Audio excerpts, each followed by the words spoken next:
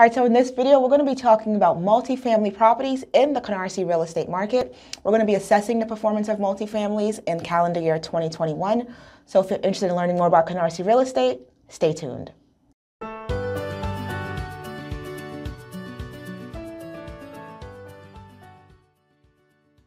And let's get into the first metric, which is the average number of homes sold in Canarsie. Now, in 2019, this number hovered around four. By 2020, we saw this number go down to an average of two. And in 2021, we saw this number come back up to four. So what this tells us is that buyer demand for multifamily properties in Canarsie is returning to its pre-COVID level. So although we saw a dip in 2020, by the end of 2021, we see that these numbers are going back up to what they were in 2019. Let's move on to the second metric we'll be discussing today, which is the average number of homes listed on the market in Canarsie. Now, in 2019, this number was 62. By 2020, we saw this number dip down to 56. By year end 2021, we saw this number dip down once more to 49. Now, this means that unlike buyer demand, willingness to sell in Canarsie has not returned to pre-COVID levels. Now, if you're a homeowner and you're interested in, th- in, putting your property on the market, this is good for you because it means fewer homes on the market, higher the sales prices. However, if you're a buyer and you're interested in purchasing in Canarsie, it's not good for you because it means fewer homes on the market, the higher the sales prices. Now let's move on to the final metric we'll be discussing today, which is the average sales price of multifamily properties in Canarsie. Now in 2019, this number was around 637,000. By 2020, this number did jump to about 686,000.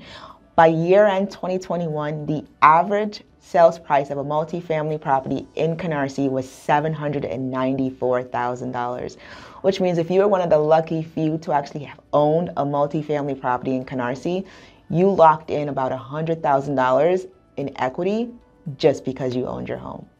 All right, now what I'd like to do is show you some examples of properties that actually sold in Canarsie in 2021.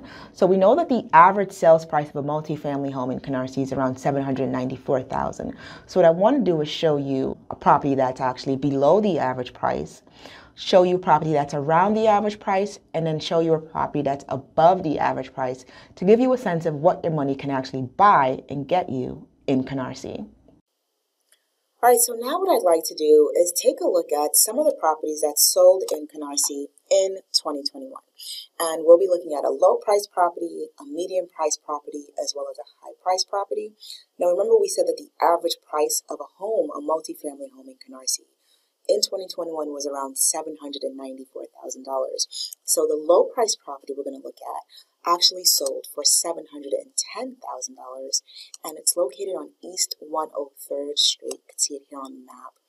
Um, it looks like it had five bedrooms, four bathrooms, and it looks like it was listed for 769,000 and it sold for 710,000. So let's take a look at some of the pictures of this property to see why it may have sold below list price, and what the condition of the property was. So we see that the front of the property, we could see that immediately it's uh, attached on both sides. You see it's completely brick. We see that it has one spot for a car to park, and this gives us a sense of what um, what the outside of the property looks like. Let's take a look at what the inside of the property looks like. So this is first view as soon as you walk in, the foyer, um, this is one bedroom. This looks like the flooring might need some work here. You can see that it looks like it's a little moldy. So either those planks need to be replaced or they need to be refinished. Um, moving on, we see this is the, the view of the kitchen area in the first floor, the one of the first units. Um, see it has a stove, but I don't see a refrigerator. So that's missing um, from this set in terms of this kitchen. Otherwise, the kitchen looked to be in, in decent condition. Bathroom, which looks modern. Uh, this looks like it was recently renovated. Very posh looking shower head. Uh, this is a, another view of the bathroom. Uh, the bedroom, same bedroom. Uh, probably the back entrance of the first unit. This looks like it's an exit. Uh, another view of the front of the home, the second bathroom, which also looks to be recently renovated. Um, this is another another bedroom. This step up looks interesting. I'm not sure if that's a step up into a closet or what this what is behind this door.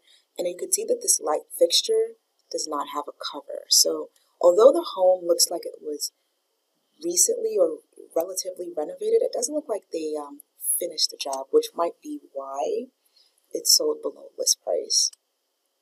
Right, but just take a look at the condition. So it's not terrible. It's not in terrible shape. You know, you can kind of move in and do some light work. Um, but that's probably why it sold for about 50k below what was listed for. So this is another view of the front of the property. This is the second unit. You see this unit has um, a refrigerator, but I don't know if we saw a stove in this kitchen. This is a third bathroom. Um, this looks like it's just another exit outside the basement. Meters, meters. Another view of the, the second kitchen. This is the, the view of the backyard, which is entirely paved. Um, another view of the backyard, a top view of the backyard. The first kitchen once more. First kitchen again. And we're back to the beginning. So that gives you a sense of what you're going to get for around $710,000 um, in Canarsie, it's a multifamily property, again, five bedrooms, four baths, and it looks like it needs some light work, although it looks to be in move-in ready condition. All right, now let's take a look at the second property uh, that I want to show you in Canarsie that sold in 2021. So this property sold for around $825,000. It didn't sell for the average or around the average. Um, there weren't any properties that actually sold for around the average price. So we're going to look at this one and this one, um, again, it's a multifamily property, so two units, five bedrooms, three baths, and it's about 2,500 square feet. Let's take a look at what the condition of this property looks like. So you can see the front view, it's multicolored brick, which is nice. Um, there's some yard area in the front of the house, and it's an indoor garage space. Now, this house is only attached on one side, as opposed to the first property we saw, which could be one of the reasons why it sold for a premium. Relative to the first property, we see that this house has better curb appeal as well. But let's take a look at what the inside of the property looks like. So we see it's wide open space. This is a living room, um, bathroom, side view of the property, a backyard. There's some grassy area. There's actually a yard. It's not completely paved. It also has a tree, which gives you some nice shade. Um, this is the, the backyard once more. Some floor plans. Uh, the front of the property. Front of the property. Uh, this is a living area. Again, living space, living space, living space. Uh, dining area, dining area, and the front of the property. So it looks like although there are two units in this house in on this property, we only got a view of one of the units, so not quite sure what the other unit looks like. However, the first unit does look like it was very well taken care of. So this is what $825,000 will get you um, in Canarsie, a property that looks similar to this one. All right, now let's take a look at the final property uh, that I want to show you that sold in Canarsie in 2021. This is also a multifamily property, and this property sold for $840,000, has six bedrooms and five bathrooms. So let's take a look at what this property looks like in terms of its condition.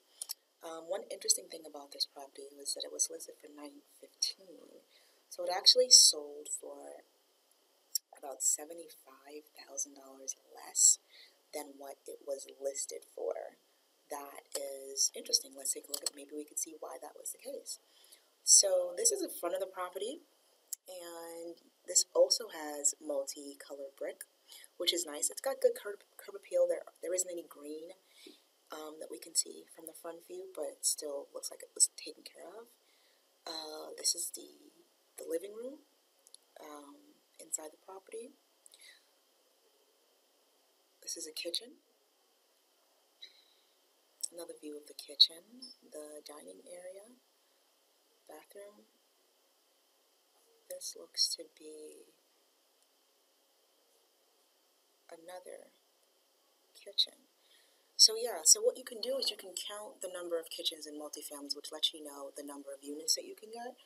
So in this particular um, this particular kitchen, you see that the appliances are black, but when we come to this kitchen, see that although the cabinetry looks similar, it has a white refrigerator. So we can see that it's a completely second unit or separate unit. Um, so this is that same unit that we just saw, just close up. Uh, one bedroom, the front of the property once more, another bedroom. This is the same bedroom.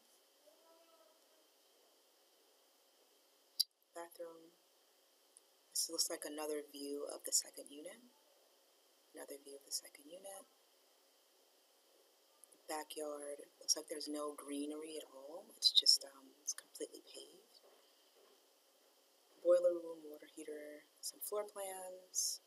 Another view of the front of the property. The front of the property. Uh, living area. Dining area. And this looks to be a third kitchen. So though it's listed as a two family, this looks like it can be used as a three family home. There are three kitchens. So, um, yeah, it's in decent shape. It may have been overpriced when it was originally listed, but definitely, um, definitely three different units, three separate units are in this property. So this is what $840,000 could get you in Canarsie if you're interested in uh, what the condition of the potential property might look like and if you're interested in buying in Canarsie. All right, well, that sums up my video about the Canarsie real estate market. I hope you learned something about Canarsie. I hope you learned something about real estate, and I'll see you in the next video.